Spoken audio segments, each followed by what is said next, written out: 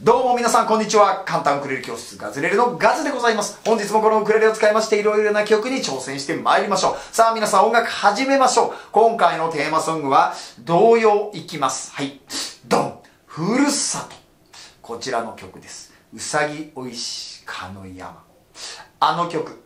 やりましょう。実はこの曲、カズレレ YouTube チャンネルで5年前に1回取り上げているんですけど、その時はちょっと不親切でございまして、今回2021年版として、さらにわかりやすく、さらにかっこよく、さらに簡単に、えー、2020年版アップロードしたいと思います。この曲、えー、コロナでね、なかなか里帰りできないという方もいらっしゃるでしょう。そんな時にこれ、つまびいて、この歌を歌う。最高です。そしてこの曲はですね、あの、私たちの大先輩、すなわちこのご高齢の皆様にもね、このウクレレで音楽始める曲としてこれふさわしいですよ。入門コード、めちゃくちゃ簡単コード4つです。はい。で、これ、まあご家族の方とか仲間でね、こうみんなで教え合ったりして、音楽を自分で奏でる。また全然できると思いますので、ぜひ挑戦してみてください。えー、やってみましょう。いつものように2バージョン。最初のバージョンは初心者様でもなるべく簡単にできるようにしてる超シンプル簡単バージョンゆっくりやります。はい。えー、こっちは本当簡単ですからね。で、後半はですね、あの、つまびく感じで、ちょっとかっこいいバージョンやってみようと思います。2バージョンやりますので、最後までご覧になってください。さあ、皆さん音楽始めましょう。音楽ってね、聴くよりやる方がいいんですよ。はい。今ご覧くださってるガズレレ YouTube チャンネルを見てくれるだけで、どんどん音楽ができちゃうプログラムがあります。私音楽やったことないんだろうな。今まで音楽って興味はあるけど、きっと私不器用だから無理と思う。そんなあなたもすぐにできるプログラムです。もう何万人も世界中で始めてくれてくださってますからね。はい。それじゃあもうちょっとしたらここにリンクあるんですけど、このリンク先に行ってもらって、上から順番に YouTube 動画見てるだけですぐにできるようになります。YouTube 動画ですから無料ですぐできますからね。始めましょう。ここですよ。いってらっしゃい。クリックはい、いってらっしゃい。そこにはですね、今までガズが取りためてきた、ありとあらゆる音楽の曲ができる、ウクレレ簡単レッスン動画が、すでに1500曲ぐらいもうアップロードされております。はい。皆さん音楽どんどんやっていきましょう。そしてね、えー、これからふるさとやってみようと思うんですけど、シンプル簡単バージョンからやってみようと思うんですが、この曲はですね、三拍子という曲でございまして、いつもこのワンブロックに4回弾いてって言ってるんですけど、このワンブロック、三拍子の曲でも3回弾きます。そうすると、1、2、3、123みたいな感じでワンブロック3回弾くと覚えておいてください。はい。それでは、ふるさとの初心者さん向け超簡単バージョン、やってみます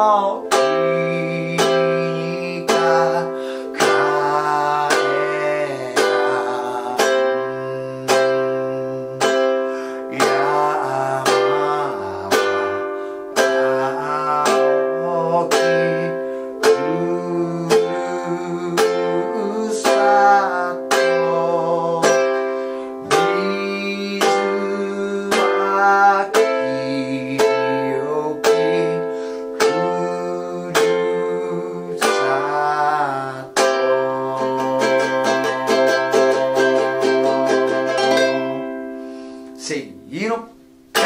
同様のふるさと、ガズレレ流シンプル簡単バージョンゆっくりやってみました。いやーいいですよね。こう目を閉じてね、皆さんそれぞれのこうふるさとの、えー、景色を思い浮かべながら、これ奏でるのがいいんじゃないかな。やっぱり、ね、音楽っていうか、音楽はやっぱり感情表現なんで、その感情を音に乗せるっていうことね、えー、こういうので体験して、ゆっくりでいいんで心を込めてやっていきましょう。今やったシンプル簡単バージョンはですね、これ一応フルバージョンになってます。3番までやりました。はい。そして、えっ、ー、と、ゆっくり、えっ、と、ガズレレ YouTube チャンネルと一緒に、一緒にできるようになったという方、次のステップがあります。それはですね、今度ご自身だけで演奏してみるのをお勧めします。その時にやっぱ楽譜見たりとか、まあそういうのがいいですよね。まず最初はね、楽譜やっぱ見ないといけないと思いますんで、その楽譜をですね、こう皆さんでこう準備できるように、いつもですね、ガズがこのノートをね、えー、このノートを見ながらいつもガズって演奏してるんですけど、これを画面にこれからシェアするんですけど、ただいまこのサービス始まっております。このガズクラブというサービスは一体何かというと、えー、毎月660円の活動費を頂戴しまして、今日奏でたふるさとを含むガズが今まで取りためてきたノート楽譜書き書き溜めてきたね。それをですね、皆さんが毎月5曲、お気に入りの曲を選んでダウンロードして、もうすぐに練習できるよという画期的なサービスになっております。もうメンバー900人オーバーでもうかなり盛り上がっております。そしてね、このガズクラブは楽譜のダウンロード以外にもいっぱいコンテンツがあります。まずですね、アプリがあるんですよ、ガズクラブの。ガズクラブのアプリすごいでしょその中で楽譜の管理だとかいろんなイベント情報だとか、とにかくアプリでもう一括でいろいろできる。メンバーズカードもそこで発行したりして。はい。それとあとはね、毎月2回行われているガズクラブメンバー限定、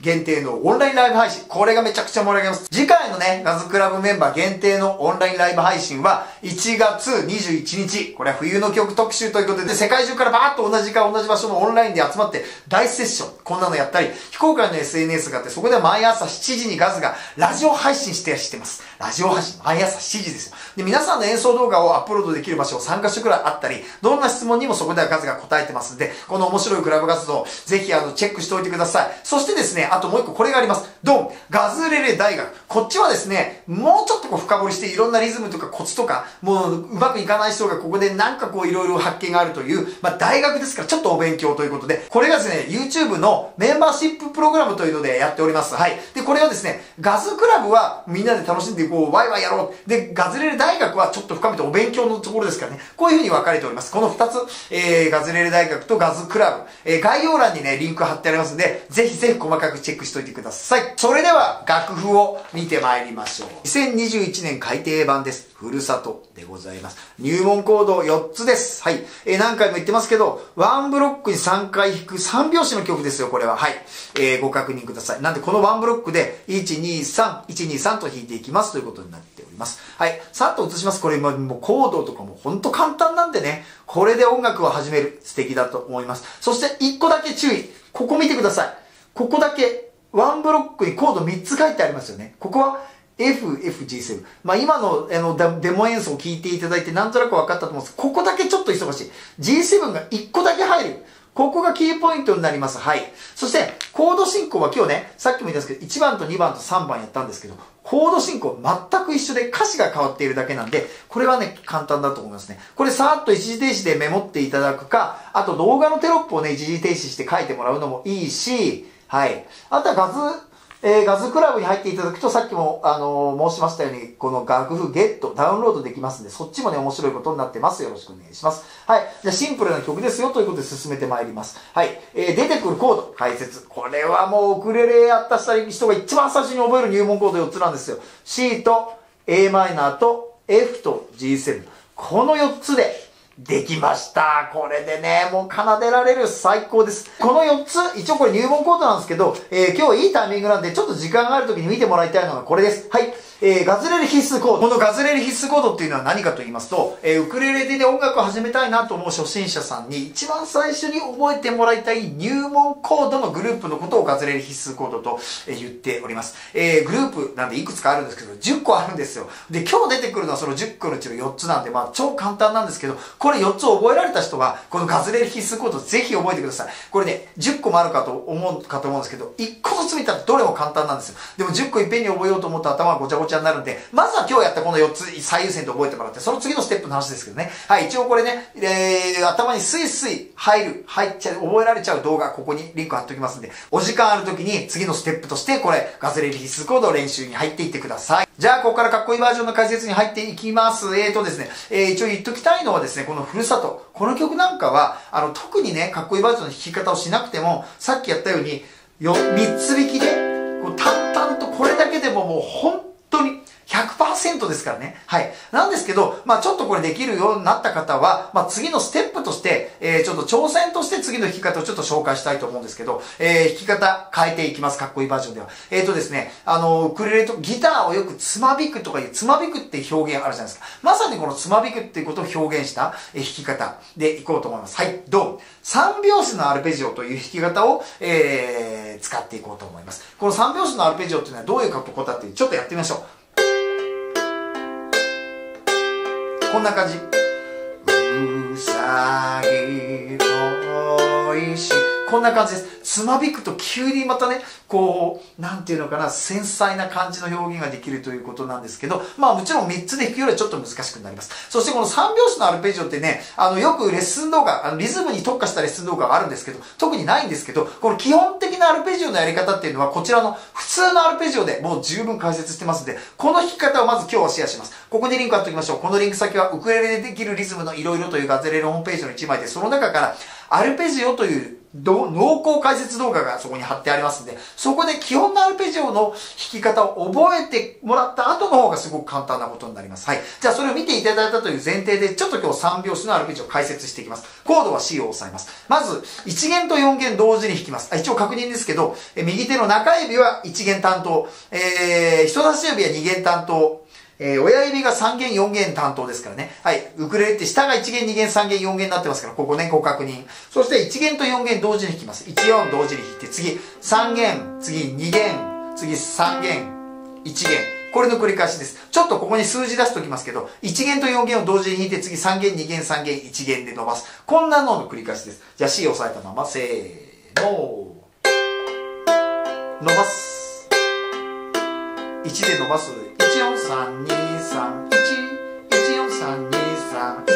これでこう淡々とリズムを刻んでいく、つまびいていくということになりますね。この弾き方で、えー、先ほどと同じコードを、えー、つまびいていくというのがこのかっこいいバージョンになりますが、ちょっと一点だけ、あの、忘れがたきふるさとのワンブロック3つコードが入ってるところだけちょっとね、面白いアレンジを考えました。ちょっとやってみますね。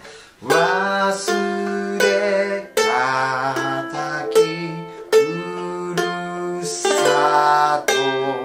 の FFG7 の G7 のとこだけ親指でトロロンってこう響かせる。もう一回。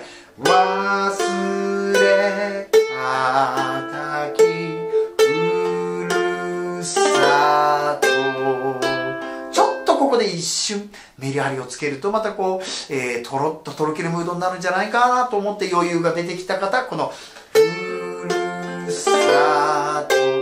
やってみてください。はい、そんなことでね、えー、ふるさとを思い浮かべながら、心を込めてゆったり気分でつまびく感じ。はい、やってみましょう。ふるさとガズレリ流かっこいいバージョンやってみる !1、2、3、1。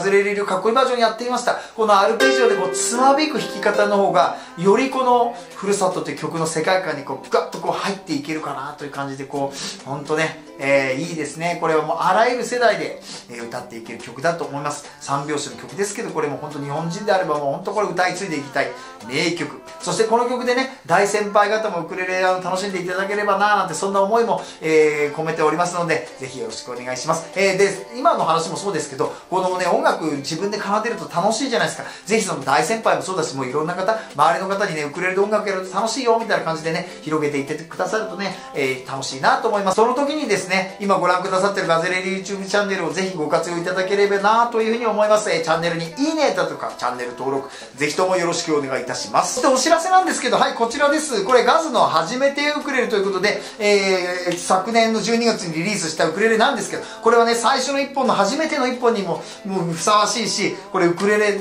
あなたも始めてよ、これ楽しいよというプレゼントにも最適というリーズナブルで、音もお求めやすくて、かつ、音も良くて弾きやすいというガズがプロデュースしてる、えー、この初めてウクレレ。か、あと、こっちの、いつもこれ、これを使ってます、ガズのわがままウクレレ。はい。この辺のこと、ぜひこちらの方でチェックしておいてください。ここにリンク貼っておきますけど、ウクレレの情報はこちらのリンク先、もうチェックお願いします。先ほどもお伝えしたんですけど、ガズクラブとガズレレ大学、この2つ結構盛り上がっております。えー、ガズクラブはもうみんなでワイワイやって楽譜をダウンロードできて、こう一個の街みたいなイメージ。ガズレレ大学はほんとちょっといろんなリズムとか基礎トレーニングとか、本当にお勉強です。この2つのことも概要欄に貼ってますんでお願いします。あとね、ガズレレでね、アプリがあったりするんですよ。ガズレシピです。ガズレシピで楽譜を見られる。これもね、すごく面白いことになってます。もう他にもいろいろあるんですよ。ここにね、いつもつけてるこの水引きだとか、このストラップ、キャップだとか T シャツとか、山ほどね、いろんなグッズがあるんでね、あの、ホームページぜひ見ていただきたいんですよ。あと、それとね、これです。はい。